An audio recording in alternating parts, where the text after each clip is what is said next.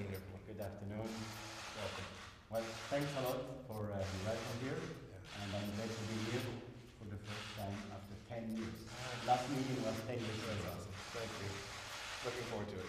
Thanks, everybody. Thank you. Yeah. Secretary, what do you say to